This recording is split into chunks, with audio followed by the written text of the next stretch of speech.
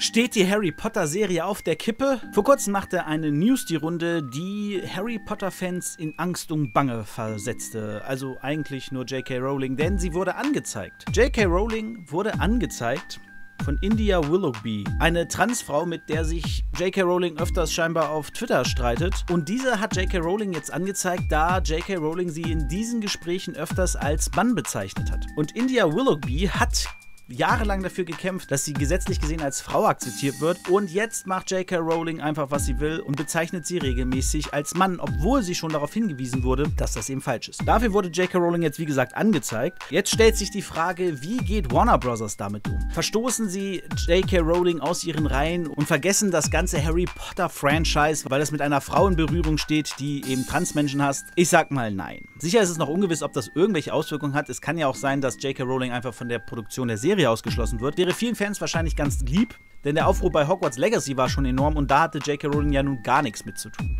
Dass die Harry Potter Serie allerdings deswegen jetzt abgesagt wird und gecancelt wird, das sind natürlich nur Schlagzeilen, die auch ich hier gerade benutzt habe, um mehr Klicks zu generieren. Es ist relativ unwahrscheinlich, dass Warner Bros. sich davon aufhalten lassen wird, die Harry Potter Kuh weiter zu melken. Also 2026 wird die Serie höchstwahrscheinlich starten. Vielleicht verzögert sich es durch diese ganze JK fliegt aus der Produktionssache raus, wenn sie überhaupt rausfliegt, was eben noch gar nicht gewiss ist und auch relativ unwahrscheinlich wahrscheinlich ist. Dies nur als kleines Update. Und wenn ihr jetzt wissen wollt, woher ich weiß, dass die Serie 2026 kommen soll, dann klickt auf dieses Video. Bis zum nächsten Mal. Ciao.